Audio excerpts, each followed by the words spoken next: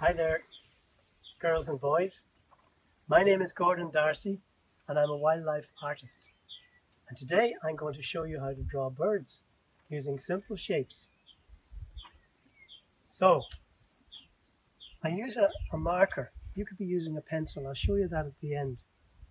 And I'm using a flip chart so it's nice and big for you to see.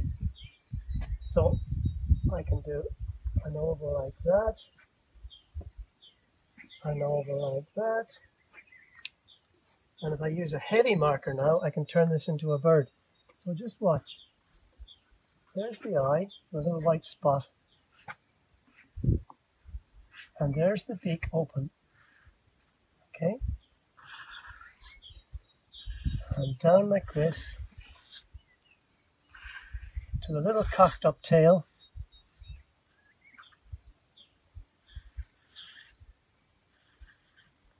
And you see I've got a, a little bird called a wren on show here now. So all we need to do now is put him on a, on a, a twig. So one foot like this, three toes in front, and then we could have his other leg down like this, very thin legs. One, two, three. You can see the little wren standing on a stick here, uh, with uh, the two feet down below, and his beak open. He's singing a, wren song. His Irish name, of course, is Droleen. Everybody knows the Droleen from of Droleen, St. Stephen's Day, the day after Christmas. And uh, he's kind of a celebrated bird because of that. So what I'm going to do now is show you how to draw another bird underneath here. Uh, we'll try um, a very a bird everyone knows, a duck. So put the oval like that. You can see it's kind of indistinct to start with. That helps me. And then another oval for its head. And then we can go use the heavy marker now. There's the beak. There's the the ducky eye.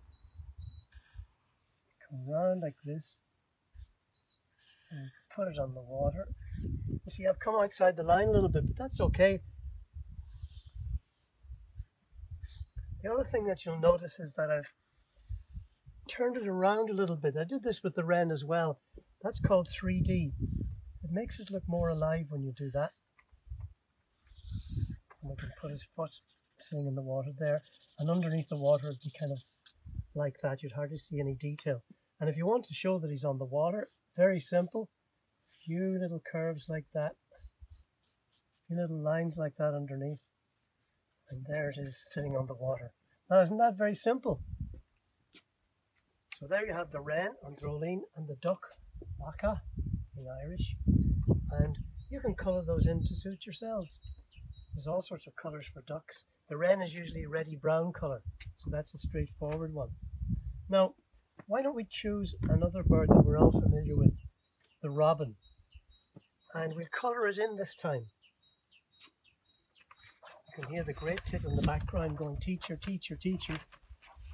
Put that over there like that.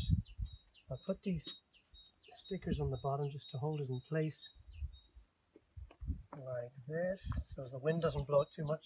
I just have to adjust this around the back. There we go. Now, let's do the robin. Why don't we have the robin standing on a spade as you'd see it in the garden? So, there's his body. There's his head. Like a snowman, I suppose, just about to fall over. Now we have to go on with a heavy marker now. So we'll give him this cheeky beak. There we go. Actually, I should use the heavy marker rather than that one. There we go, that's better. And there's his eye. Very friendly eye with a white spot on the top. There's his head. We'll come down like that. We'll give him a sticky eyed chest. Because robins are very cheeky little birds. And then we'll three lines for his wing, like that at the back. Tie it in like this.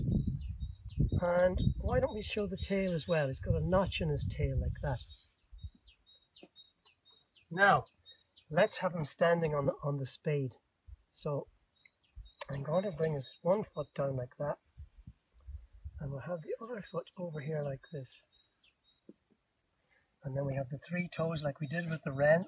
One, two, three. One, two, three. And there's a little toe at the back that holds him in place as well. So let's put him on the edge of the spade so as you can see his tail properly. Do this now. There's the edge of the spade.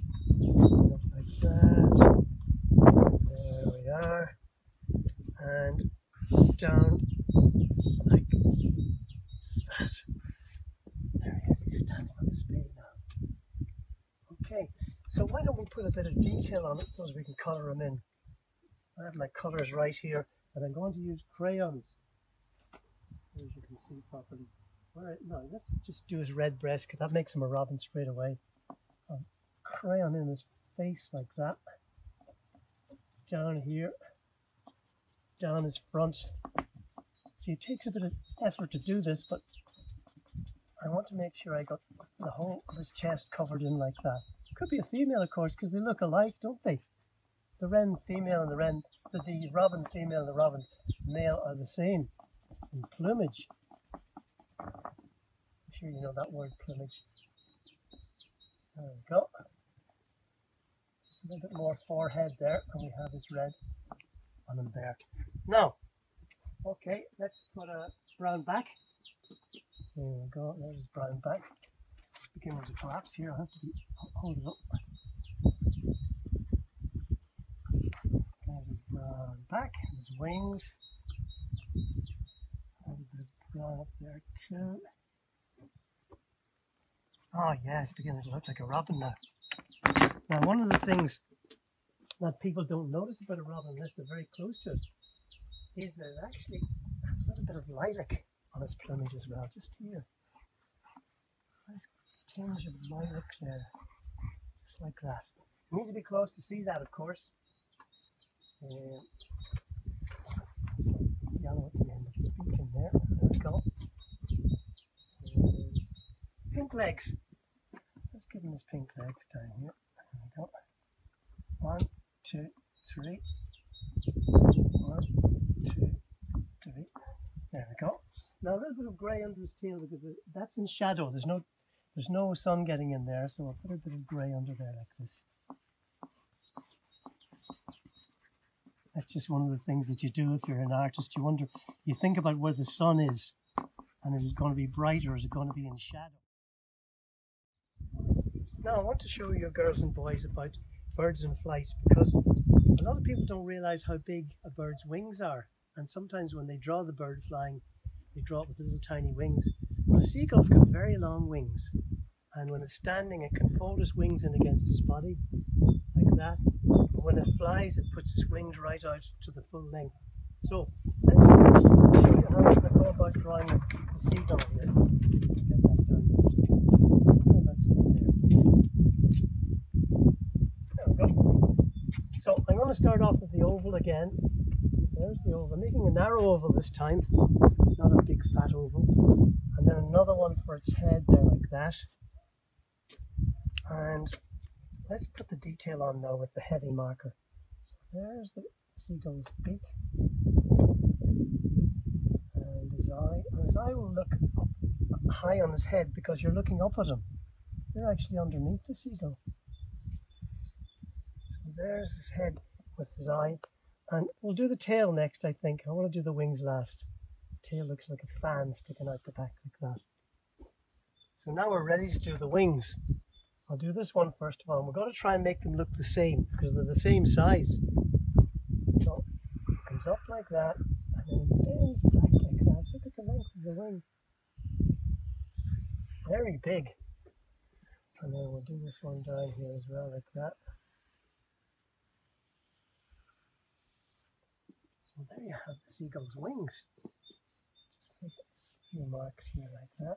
And it tucks its feet um, underneath its body like the undercarriage of an aeroplane when it flies to keep them out of the way. Now, what we can do is put a few feathers on the wings. I'll just show you how to do that. Long, long feathers here on the wings that. And here, all the along there, feathers. Now, how are we going to make a white bird stand out against a white page? That's a tricky one, isn't it? Well, I have the answer here. Just put a bit of sky behind it. Blue sky. Like this. Smudge it on nice and quickly with my crayon.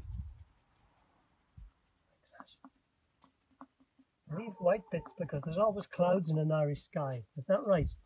You never get a completely blue sky, or very rarely. It's always nice fluffy white clouds. So I leave white bits like that in there. So there's the blue in the background. Now, remember what I said about the shadows? The sun's on his back, so underneath here is going to be a bit grey like that. You can use your pencil for that. And I'm going to show you the equipment I think that you probably need do this work rather than using a flip chart in just a minute. Let's put a few feathers in his tail there as well. There's hardly any sun getting under the wings, but the sun might come through the wings. So you get a bit of grey like that and a bit of white beyond. Something like that. Now, why don't we put some colour on his feet? Pink feet. Here we go. Pink feet. and yellow beak.